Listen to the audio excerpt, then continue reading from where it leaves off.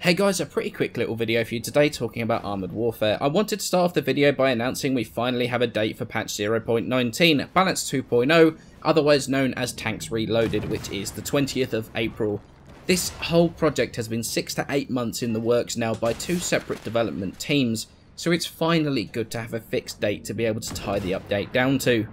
So that brings me on to my next topic, which is the future of my Armoured Warfare content on my channel. The lack of PTS coverage, the test server coverage, was literally because we were so far behind the Russian PTS. There was just no point me doing any videos talking about it. Before I even made the video, the information I'd be giving and the opinions I'd be giving out, they were already out of date and they just weren't even relevant anymore, which puts you in a huge bind when it comes to making content. It's the same problem I've had with tank reviews for the last few months. With Balance 2.0 on the horizon, I didn't want to make a video talking about a tank, and then it become you know, completely irrelevant the next week. However, while that's slightly off topic, this has been something I've had to do a whole bunch of soul searching as to what I want to do. Armoured Warfare by everyone's own admittal is not in a good state right now. Even the community team on the forums have admitted that the population of the game has really suffered from the length of time it's taken to get patched 0.19 ready to be deployed, so it would be really easy for me to say, sod it, it's been a good run so far, I'm out to do content on something that's likely to do well straight out of the gate. However, I'm going to be sticking with the Armoured Warfare content, at least for a while after Point 19 comes out. From what I've pl actually played on the test server, even though the EU was that far, when it was miles behind the, the uh, Russian PTS, it actually felt pretty good. I had a lot of fun playing some of the games I managed to get into, being in a tier 8 in a tier 10 game in the current game, especially if you're up against the top tier main battle tanks, can be severely frustrating.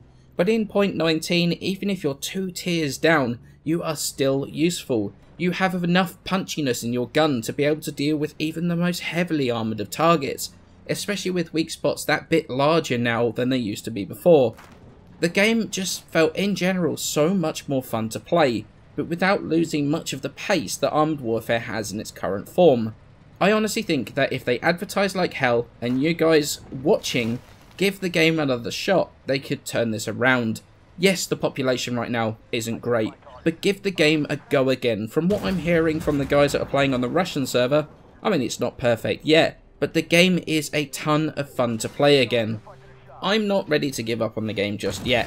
I will continue covering it once the patch goes live, so that means in-depth looks at gameplay mechanics, tank reviews, the whole nine yards.